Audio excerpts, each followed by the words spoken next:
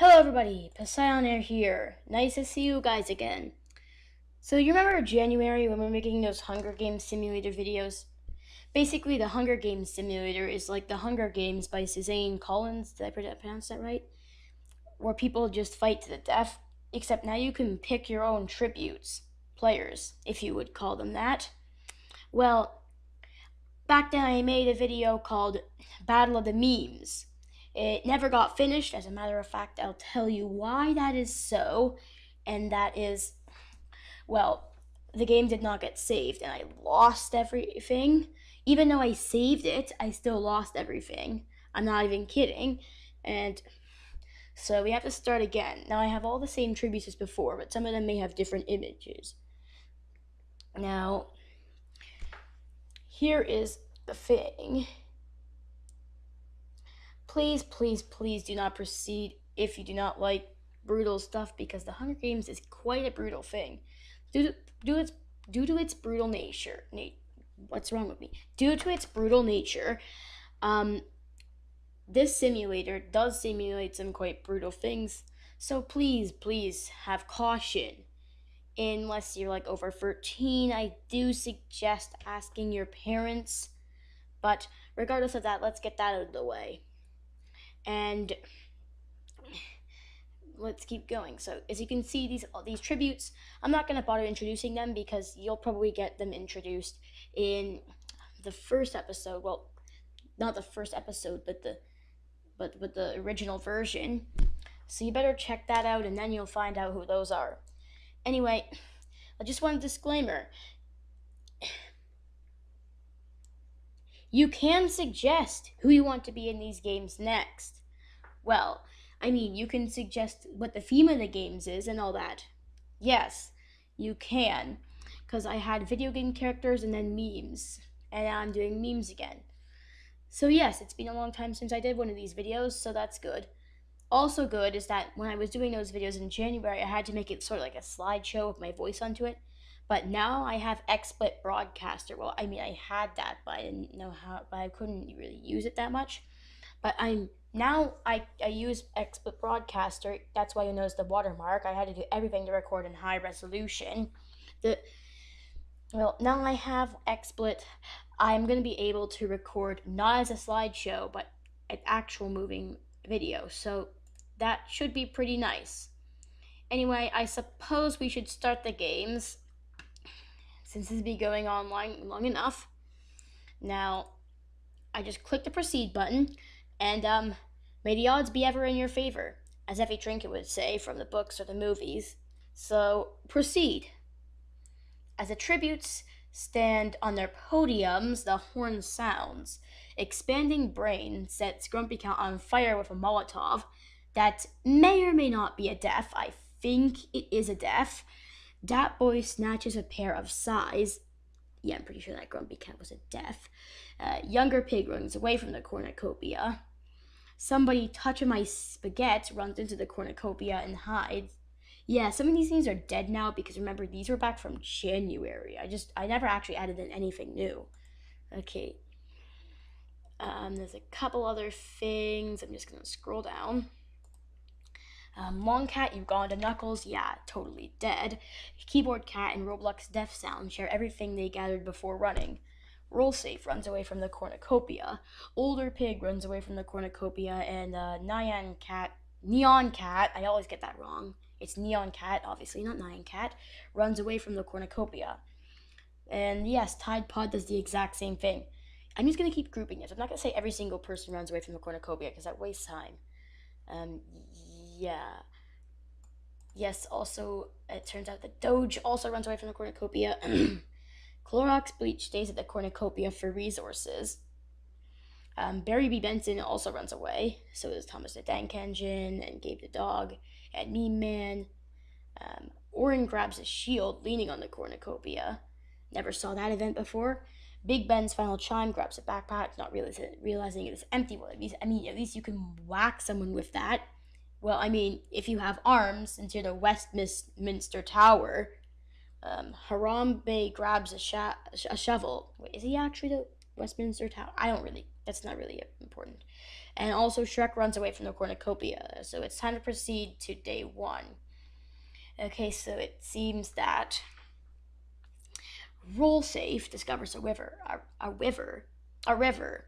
Doge, Roblox, Deaf Sound, and Younger Pig get into a fight. Younger Pig triumphantly kills them both. Oh boy. Yes, use the power of oats. Shrek tries to sleep for the entire day. That boy sets an explosive off, killing Meme Man and Uganda Knuckles. Haha, ha, okay. Meme Man always dies early in these games. I don't know why. Good thing he's not third dimensional. Or maybe he died in Canada, so he won't die in real life. Haha, stereotypes. Dat boy. Oh, yeah, I already read that. Um, Big Ben's final chime over here is Keyboard Cat and Older Pig talking in the distance. Nyan, Neon Cat and Primitive Sponge work together for the day. Neon Cat, not Nyan or Neon. Somebody touching my spaghetti is pricked by thorns while picking berries. I, I don't get how that's. Um, I think that's sort of a filler event, but okay. Long Cat scares, scares Clorox bleach off. I know, just, just look at that scary face there.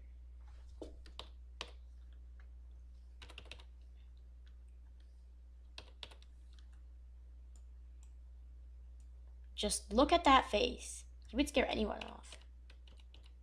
Anyway, um, Gabe the dog strangles Orang after engaging in a fist fight. Yes, yes, Gabe the dog. You strangled the untrustworthy Orang. Yes, good job. You've saved the universe. Harambe sees smoke rising in the distance but decides not to investigate. Uh, Thomas the Dank Engine tries to spearfish with a trident. I don't see how he could do that. He has no arms. He's literally the locomotive. Barry B. Benson practices his archery. Tide Pod and Expanding Brain work together for the day. What an odd combination. Oh, yes. Oh, that's a lot more deaths than I, than I remember. Um, Grumpy Cat in District 3. Doge in District 4. Roblox Death Sound in District 10. I forgot to read this part. Yes. Fallen Tributes 1. 6 cannon shots coming from the distance. Uganda Knuckles, District 12. Oh, he died? I don't remember that. Let me let, let, let me go back. Um, oh yeah, killing Meme Man in Uganda Knuckles. Uh, yeah, and Orang, and good. I, I I hope you all rest in peace, except, except for Orang because you tried to unleash a vegetal and kill us all, and nobody want and nobody trusts you anymore. Gabe the dog and Barry B. Benson hold hands. Primitive Sponge passes out from exhaustion. And by the way, I, I, I know that does not actually mean he died. He just passed out. That boy tends to roll safe's wounds. That that's a weird type of nurse. Um, doctor, I guess, maybe? I, I don't know. Keyboard cat tends to Tide Pod's wounds. Well, that's even weirder. Like, are they for wounds from like biting or something? Because people bite into them all the time. They did before. Expanding Brain attempts to start a fire but is unsuccessful. Neon Cat thinks about home. I did it, I did it. Somebody touch on my spaghetti quietly hums. Long Cat and Younger Pig hold hands. Older Pig stabs Shrek with a tree branch. Oh boy. Well, yeah, yeah, yeah. That that's not that's not really nice. Um, I would be sad, but uh, but but Older Pig I like Older Pig more than Shrek, so. I mean, rest in peace, Shrek, though, of course. Harambe stabs, stabs Thomas the Dank Engine in the back of a trident. if both Harambe and Gabe the dog die, I'm going to be, like, so sad. Clorox Bleach sets up camp for the night. Big Ben's final chime loses sight of where he is. Uh-huh. Long Cat runs away from Harambe. Gabe the dog discovers a river. Big Ben's final chime receives medical supplies from an unknown sponsor. Tide Plod explores Tide Plod Tide Pod explores the arena. Primitive Sponge severely injures Clorox Bleach and leaves him to die. Um, so he drank him? Then wouldn't Primitive Sponge die? I'm overthinking this. Roll safe and expanding brains split up the search for resources. Younger Pig injures himself probably injured himself by refusing to give his brother oats. That boy picks flowers. Keyboard Cat hunts for other tributes. Older Pig stalks Neon Cat. I did it right again. Somebody touching my spaghetti camouflages himself in the bushes. Barry B. Benson discovers a cave. Ah, yes. Free cannon shots can be heard in the distance. Shrek from District 11, Thomas the Tank from District 11, Clocksby from District 6. Oh my! All of District 11 is dead then. Huh. Mm-hmm. Yeah, rest in peace, all of you. Big Ben's final chime is awoken by nightmares. Long Cat feed Long Cat fence Gabe the dog somebody touching my spaghetti and keyboard cat away from his fire. Three of them. He fended off three of them. Well, that, that's impressive. Barry B. Benson screams for help.